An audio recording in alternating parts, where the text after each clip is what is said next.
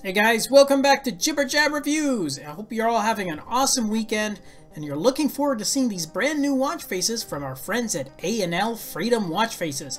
And I'm also going to be giving away a free coupon code for one of these faces, your choice, so make sure you stick around till after the review as I'll tell you exactly how you can enter the contest for a chance to win. For now though, let's go check out these brand new and colorful watch faces. Okay, starting things off, here's a sporty looking watch face that has a lot of information displayed, but it's actually organized and laid out in such a way that it doesn't feel overly crowded or even difficult to read. And the information is displayed in various sections, such as a ribbon or a bar there that separates the areas, and even those bars are functional. Okay, first you have the full date and a moon phase above, and underneath that information is the day of the week shown in that bar.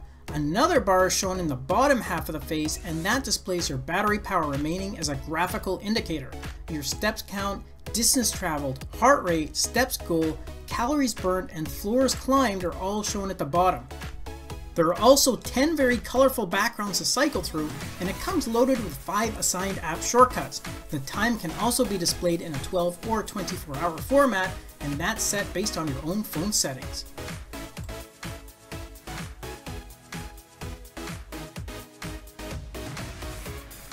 Next up is an analog watch face, and this one is set in a very colorful and bold style, as you can see by those thick and chunky digits and markers. Now compared to the previous face, this one is very light in terms of the information displayed, as you only have the day and date shown near the bottom, However, you can also see that there's four app shortcuts there as well, which gives you access to your messages, alarm, schedule, and music apps. And if you double tap on the shortcuts, you also have the ability to hide or reveal them, which is a pretty nice option to have. And for backgrounds, this base comes with 12 different colored themes and they all have really nice shading effects so you don't just have a solid background with this one. This also has been optimized for the AOD mode.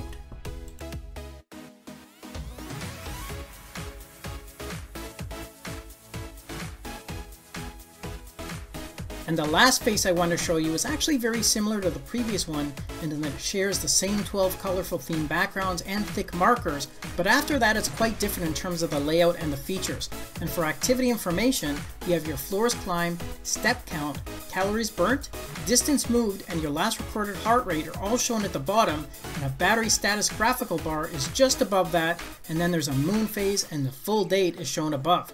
This model comes with 8 different assigned shortcuts and I'll post those above for you to see in more detail. This one also allows you to show the digital time in a 12 or 24 hour format and the distance traveled can be set in either kilometers or miles.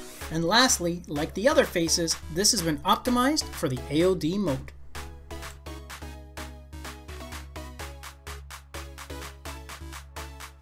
And if you want more information on the watch faces I reviewed today, then simply do a search in the Galaxy App Store under the name of these faces. The full details are also included in the video description.